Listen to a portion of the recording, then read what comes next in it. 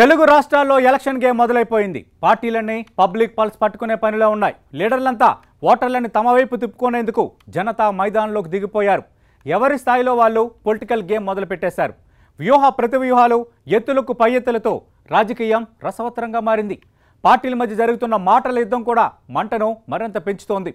ఇలాంటి పరిస్థితుల్లో అసెంబ్లీ సెగ్మెంట్లలో నెలకొన్న రాజకీయ పరిస్థితులేంటి? ఏ పార్టీ నుంచి ఎవరు బరిలోకి దిగబోతున్నారు? సిట్టింగ్లకు ఫిట్టింగ్లు పెడుతున్న లీడర్లు ఎవరు? ఇలా అసెంబ్లీ నియోజకవర్గాల వారీగా పక్కా విశ్లేషణ రేసు గుర్రాల్లో చూద్దాం.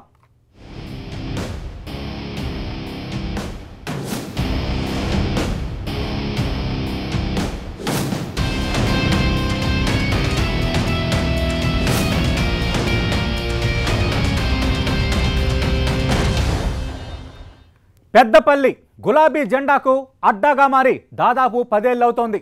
రాబోయే ఎన్నికల్లోనూ ఇక్కడ మళ్ళీ అదే జెండా ఎగురుతుందన్న ధీమాతో ఉన్నారు బీఆర్ఎస్ శ్రేణులు. సిట్టింగ్ ఎమ్మెల్యే దాసరి మనోహర్ రెడ్డి కూడా హ్యాట్రిక్ కొట్టాలన్న కసితో కనిపిస్తున్నారు. అయితే ఆయనకు టికెట్ దక్కుతుందా లేదా అనేదే నియోజకవర్గంలో హాట్ టాపిక్గా మారింది. మరోవైపు అవకాశం ఇస్తే పోటీకి సై అంటున్నారు సొంత పార్టీ ఎమ్మెల్సీలు. కానీ అన్ని అనుకూలిస్తే ఈసారి తన రాజకీయ వారసురాలిగా కోడలిని పోటీ చేయించాలని భావిస్తున్నారట ఎమ్మెల్యే. మరి ఇలాంటి పరిస్థితుల్లో బీఆర్ఎస్కు విపక్షాలు ఎలాంటి పోటీ ఇవ్వబోతున్నాయి? ఏ ఏ పార్టీల నుంచి ఎవరెవరు టికెట్ ఆశిస్తున్నారు? బరిలో నిలిచి గెలిచే సత్తా ఉన్న లీడర్లు ఎవరు? ఓవరాల్గా పెద్దపల్లి సెగ్మెంట్లో ఈసారి కనిపించబోయే సీన్ ఏంటి?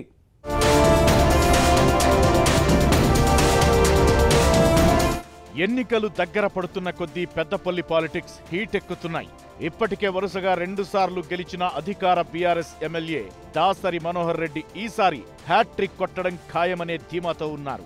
అయితే విద్యా సంస్థల అధినేతగా ఉన్న మనోహర్ రెడ్డి ఈసారి తన రాజకీయ వారసురాలిగా కోడలు మమతారెడ్డిని రాజకీయాల్లోకి తీసుకొచ్చారు. ఆమెను పెద్దపల్లి మున్సిపల్ చైర్పర్సన్ని చేశారు. అన్ని అనుకూలిస్తే వచ్చే ఎన్నికల్లో ఆవిడను ఎమ్మెల్యే బరిలోకి దించాలని భావిస్తున్నట్టు తెలుస్తోంది. అయితే అధికార పార్టీలో టికెట్ ఆశించే వారి సంఖ్య ఎక్కువగా కనిపిస్తోంది. దాంతో మరోసారి తానే బరిలోకి దిగడమే బెటర్ అనే నిర్ణయానికి వచ్చినట్టు తెలుస్తోంది.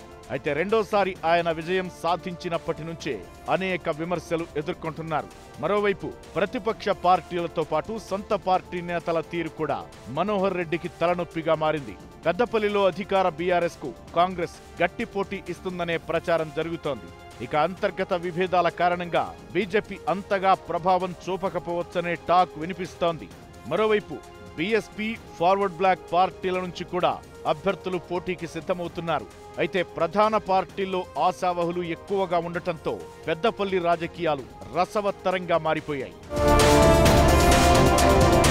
పంతొమ్మిది వందల యాభై రెండులో ఏర్పడిన పెద్దపల్లి నియోజకవర్గానికి ఇప్పటి వరకు పద్నాలుగు సార్లు ఎన్నికలు జరిగాయి. ప్రధాన పార్టీల అభ్యర్థులందరికీ అవకాశమిచ్చారు ఇక్కడి ఓటర్లు. తెలంగాణ ఏర్పడిన తరువాత పెద్దపల్లి గులాబీ పార్టీకి అడ్డాగా మారిపోయింది. రెండు వేల పద్నాలుగు రెండు వేల పద్దెనిమిది ఎన్నికల్లో వరుసగా కారు పార్టీనే గెలుస్తూ వస్తోంది. నియోజకవర్గంలో రెండు లక్షల నలభై వేలకు పైనే ఓటర్లున్నారు. వీరిలో అత్యధికంగా బీసీల ఓటు బ్యాంక్ ఉంది. అభ్యర్థుల గెలుపోటములను నిర్ణయించేది కూడా వాళ్ళే. గత ఎన్నికల్లో బీఆర్ఎస్తో పాటు కాంగ్రెస్ అభ్యర్థి బీసీ ఓట్లను ఎక్కువగానే సంపాదించారు. ప్రధానంగా యాదవులు ముదిరాజులు గీత కార్మికుల మద్దతును బట్టే గెలుపోటములు ఆధారపడి ఉంటాయి. దాంతో ఈ మూడు సామాజిక వర్గాలను ఆకట్టుకునేందుకు అన్ని పార్టీలు ఫోకస్ పెంచాయి.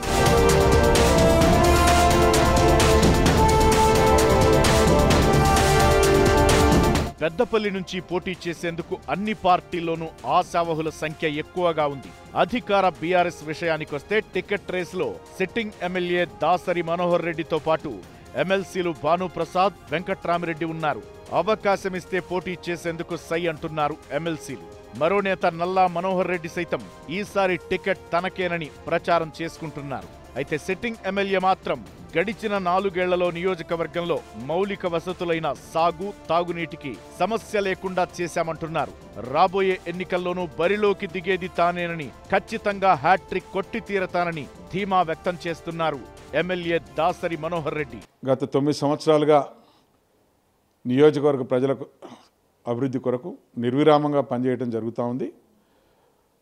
మరి నియోజకవర్గాన్ని మొట్టమొదటగా ఓడిఎఫ్గా ప్రకటించడంతో పాటు ఈ నియోజకవర్గంలో త్రాగునీటి ఇబ్బంది లేకుండా సాగునీటి ఇబ్బంది లేకుండా చూడటం జరిగింది.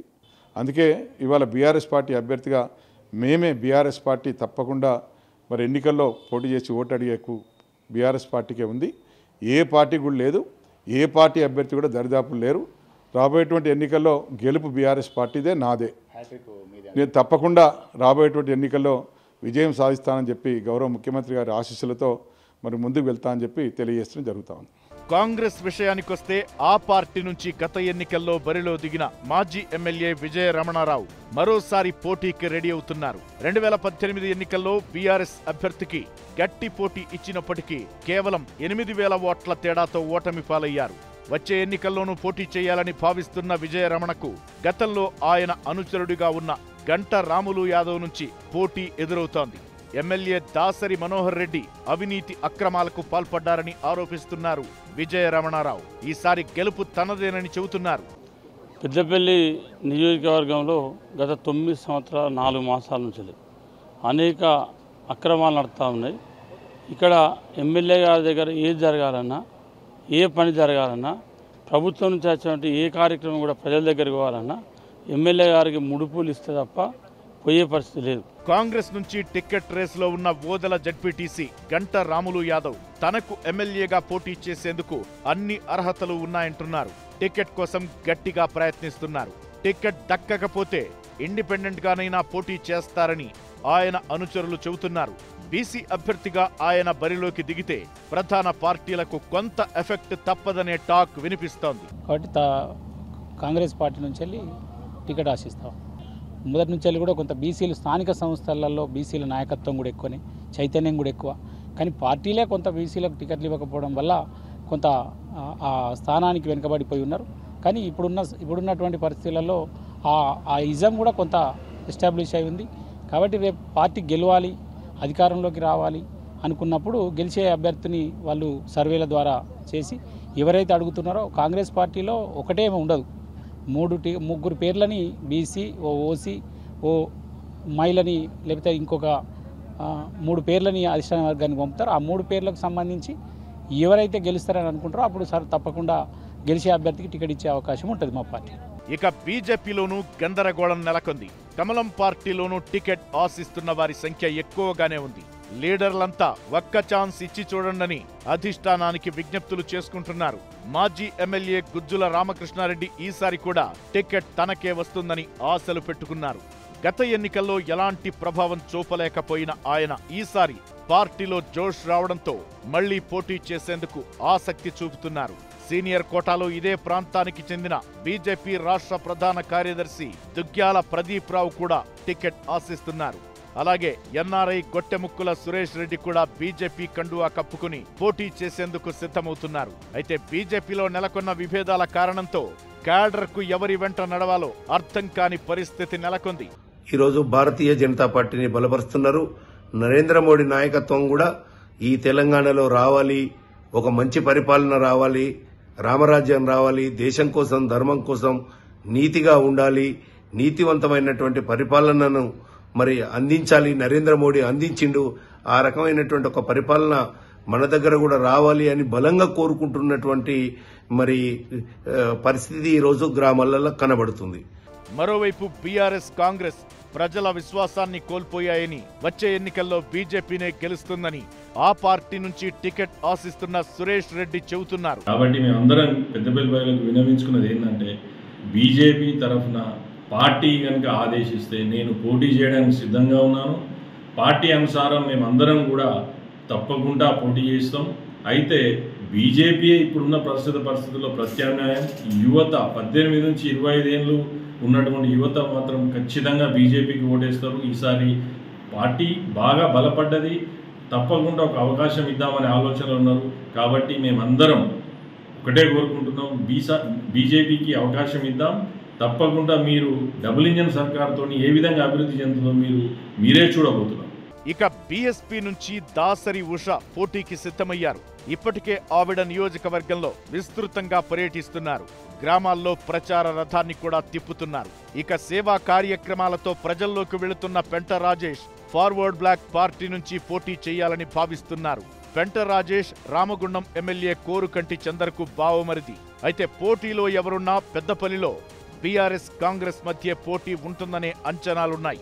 బీజేపీలో నాయకుల మధ్య నెలకొన్న విభేదాల కారణంగా కార్యకర్తలు కన్ఫ్యూజ్ అవుతున్నారు. ఇలాంటి పరిస్థితుల్లో ఏ పార్టీ నుంచి ఎవరు బరిలోకి దిగుతారనేది ఆసక్తిగా మారింది. ఓవరాల్గా పెద్దపల్లి సెగ్మెంట్లో ఎలాంటి పొలిటికల్ సీన్ కనిపించబోతోందన్నది ఇంట్రెస్టింగ్గా మారింది.